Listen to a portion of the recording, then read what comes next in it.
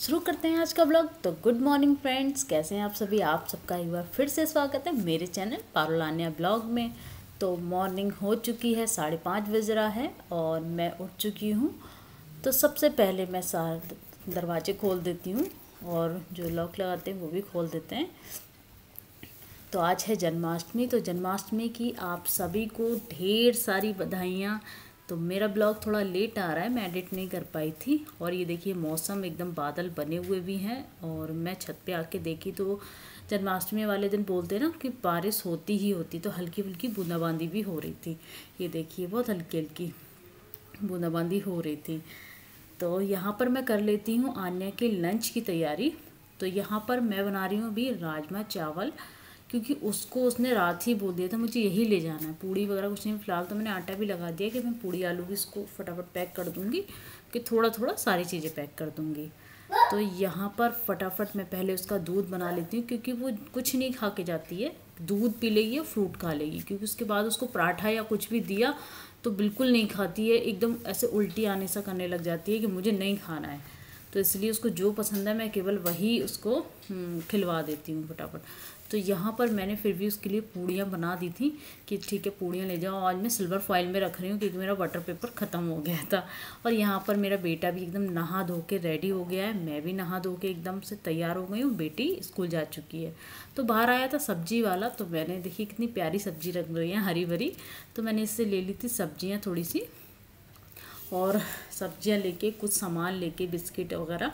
तो सबसे पहले मैं बना लेती हूँ घी, जो मैंने मलाई निकाल के एक हफ़्ते की रखी हुई थी, क्योंकि आज जन्माष्टमी में भोग लगाने के लिए एकदम ताज़ा मक्खन निकाल लूँगी तो मैं पहले ही निकाल के रख लेती हूँ और थाली सजाने लगूँगी, क्योंकि मुझे ज़्यादा कुछ तो नहीं आता बनाना पजीरी तो मैं केवल यहाँ पर हलवा, पूड़ी, मक्खन और देसी घी जो बनाया गया है, उसका भोग लगाऊँगी, जो मुझसे हो सकेगा वही मैं भोग लगाऊँगी। तो यहाँ पर मैं थोड़ी डेकोरेशन कर लेती हूँ। सबसे पहले मैंने यहाँ पर थोड़ी ये देखिए, मुझे बेबी को लेके ही काम करना पड़ता है। तो मैंने फ्लावर्स लेने जा रही हूँ मैं। पास में ही पेड़ है।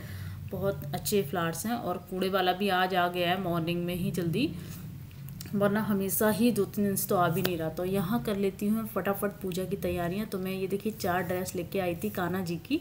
तो कितनी प्यारी लग रही है ड्रेस तो मैं यहाँ पर मुकुट, माला, बाँसुरी और ये, एक उनकी आइज़ निकल गई थी, मैं आइज़ भी लेके आई थी और पहले जल्दी से फटाफट आसन लगा लेते हैं और थोड़ा थोड़ा जो भी मुझसे डेकोरेशन हो पाएगी, मैं कर लूँगी क्योंकि बेबी के साथ थोड़ा पॉसिबल नहीं होता है ये सारी चीज़ें। वो कभी कभी बीच में परेशान कर देता है बेबी के लिए भी अपना ड्रेस लेके तो ये देखिए, मैंने पूरा अच्छे से सजा दिया है और कैसा लगा आप सबको मेरा जन्माष्टमी डेकोरेशन तो यहाँ पर मैंने भी कपड़े चेंज कर लिए हैं फटाफट। क्योंकि मॉर्निंग में साड़ी पहन के तो नहीं काम कर सकती मैं। तो इसीलिए अभी मैंने साड़ी जो क्योंकि ब्लाउज़ कुछ और, साड़ी कुछ और, मुझे जो हाथ लगा मैंने फटाफट क्योंकि लेट हो रहा था पूजा के लिए। तो सबसे पहले हम अपने लड्डू गोपाल का स्नान करा लेते हैं चरणामृत बना लेते हैं। तो यहाँ पर मैंने चरणामृत के लिए लिया है कच्चा दूध, दही, हनी और गंगा जल तुलसी जी के पत्ते मैंने ले रखे हैं उनसे अच्छे से और देसी घी। इन पाँचों चीज़ें से अच्छे से मैं स्नान करा दूँगी, फिर बाद में गंगा जल से एक बार और स्नान करा देंगे। और चरणामृत भी बन के एकदम तैयार है भोग लगाने के लिए, जो हमने बनाया है। तो ये सब घर का ही है, देसी घी, दही और दूध, वो तो रेडीमेड ही होगा। बस मैंने यहाँ पर उनको नहला दिया है अच्छे से, नहला धुला के एक जो मैं रुमाल आज मॉर्निंग में ही थोड़ा सामान लेके आई थी, बिस्कुट, टॉफ़ियाँ, जो जो लड्डू को पलक पसंद है वही सब लेके आई थी। तो इतनी सारी ड्रेस में मुझे एक ड्रेस ये अच्छी लगी। मैंने कहा, ये वाली पहनाते हैं ब्लू कलर की। तो यहाँ पर मैं पहले सबसे पहले पहना देती हूँ इनको कपड़े और अच्छे से सुंदर सा सजा के, क्योंकि सुंदर सा क्या, भगवान जी तो वैसे भी इनको कोई भी ड्रेस बना दो, एकदम सुंदर ही लगते हैं। तो यहाँ देखिए एकदम मेरे लड्डू गोपाल हो गए हैं, तैयार। नहा धो के, स्नान करके, और कितने प्यारे लग रहे हैं नज़र ना लगे किसी की तो बहुत प्यारे लग रहे हैं। तो मैं इन्हें आसन ग्रहण करा देती हूँ, और बाकी की तैयारी कर लेती हूँ मैं। तो बाकी जो मैं साथ साथ समेटती भी जा रही हूँ सामान, क्योंकि जो ज़्यादा फैले नहीं, क्योंकि ज़रा सा फैलता है तो मेरा बेटा उठा के ले जाएगा सामान।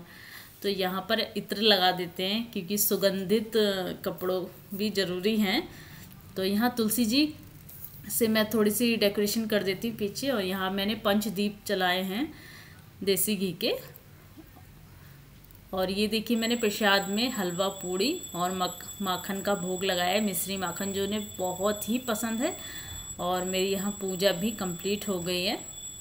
पूजा तो ये देखिए, पूजा मेरी एकदम से कंप्लीट हो चुकी है। मैंने छोटा सा हवन भी किया था आज और ये मेरी डेकोरेशन थोड़ी सी टॉफ़ियाँ बिस्किट बैलून्स इनसे ही की है मैंने।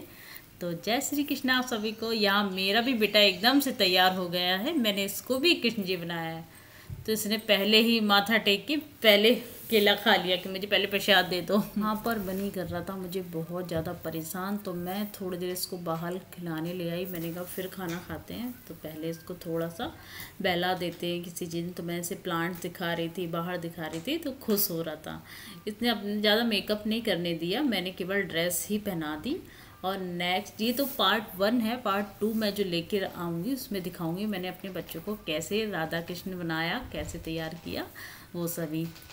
तो ये देखिए, बादल एकदम बन गए हैं। बादल नहीं बन गए, बारिश ही हो रही है। जन्माष्टमी में ऐसा ना हो, बारिश ना हो। और ये देखिए, झमझम हो गई, बारिश हो रही है। कितनी तेज़ हवा चल रही है। बहुत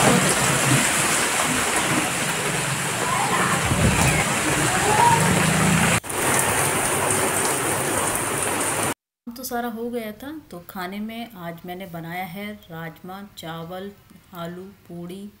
हलवा सारी चीज़ें। तो यहाँ किचन है चला रहा है गाड़ी। और देखिए मशीन में जो मेरे कपड़े पड़े सुबह से हल्की बूंदा बूंदाबांदी हो रही थी अब तेज़ हो गई। तो ये सारे मशीन के कपड़े मुझे रूम में ही कहीं ना कहीं सेट करने पड़ेंगे। तो चलिए इसके थोड़ी देर में कपड़े सेट करने के बाद। सारा हो गया है मेरा कुछ ऐसा हाल हुआ हुआ है। तो अब मैं कर लेती हूँ थोड़ी देर रेस्ट और देखिए मैंने कपड़े कैसे फैलाए हैं। ये ऐसे ऐसे सेट कर दिए मैंने कपड़े। सूख जाएँगे। आन्या आ चुकी है और ये देखिए कट्टा उड़ के इधर आ गया। मैंने धोके डाला था ये और ये छुप गई थी। आन्या आन्या आ गई है। बारिश हो रही है क्योंकि हल्की हल्की अभी भी। तो और ये मेरी बेटे की एक गुड हैबिट ये है अपने शूज़ निकाल दी थी बाहर बारिश हो रही है इसलिए अंदर शूज़ और सॉक्स दोनों निकाल देगी। अब लंच बॉक्स और बॉटल दोनों सिंक में डालेगी। हाँ रख दो बैग रख दो बहुत भारी हो जाता है बैग है ना? निकाल दो लंच बॉक्स कैसे रहे तुम्हारे टेस्ट अच्छे रहे। दोनों सीट मिली? दिखाने लग गई अपनी टेस्ट सीट जो उसको, आज उसके दो टेस्ट थे मतलब ग्यारह तारीख से उसके एग्ज़ाम है तो रिवीजन टेस्ट हर डेली दो तीन होते ही हैं। तो वो मुझे दिखा रही थी कि ये मेरा कंप्लीट हो गया था, ठीक हुआ। और कुछ मैम ने सबमिट कर लिया था, और यहाँ पर मेरे घर पर आए हैं कुछ गेस्ट तो मैं उनके लिए फटाफट लगा देती हूँ खाना। तो मैंने बनाया था राजमा चावल, रायता, आलू पूड़ी तो सबसे पहले लगा दी थी। पहले मैंने ये वाली प्लेट्स ली थी, लेकिन इसमें क्या है कि थोड़ा गहरी ज़्यादा थी प्लेट रुक नहीं रही थी। फिर मैंने कहा, इसमें रख देती हूँ। तो मैंने प्लेट्स चेंज करके फटाफट इसमें रख दिया। तो यहाँ पर मैंने रायता थोड़ा अलग टाइप से बनाया है। ऐसा रायता मेरी ननद बनाती है, मेरे हस्बैंड को बहुत अच्छा लगता है। तो उन्होंने बोला था, ऐसा वाला बना देना। तो ये मैंने छौंका नहीं है है बूंदी का ही रहता है। इसमें केवल काला नमक नमक, सादा वाला और जीरा पाउडर मैंने डाल दिया था। और ऊपर से प्याज, टमाटर और खीरा कट कर दिया था मतलब और सैलेड बना के मैंने खाना भिजवा दिया। तो यहाँ राइस मैं निकाल के दे देती हूँ, घी डाल के, तब तक वो लोग सर्व कर लेंगे, कुछ चाहिए होगा तो आवाज़ दे देंगे। तो यहाँ पर मैं करा देती हूँ लंच गेस्ट को तो आज का ब्लॉग हम यहीं पर ख़त्म करते हैं। तो कैसा लगा आज का ब्लॉग? आप सभी को अच्छा लगा हो तो प्लीज़ लाइक से सब्सक्राइब करना ना भूलें। मिलती हूँ आपसे नेक्स्ट वीडियो में। मतलब कल, और अगर हो सका तो सेकंड पार्ट कल लेके आऊँगी मैं। Bye bye.